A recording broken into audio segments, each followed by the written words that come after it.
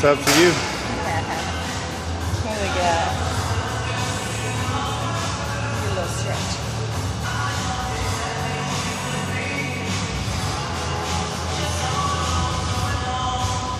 Got some big biceps. Got them big biceps.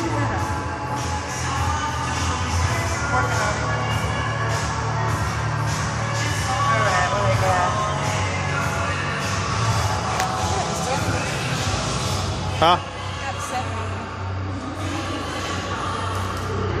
Let's see. Yep, that's seven.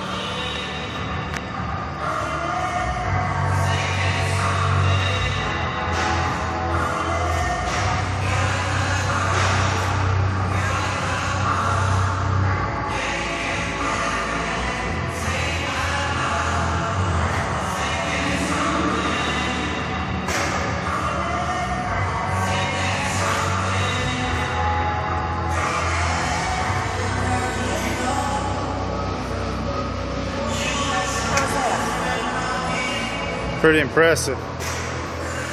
Let me ask you a question. Got? Do you ever have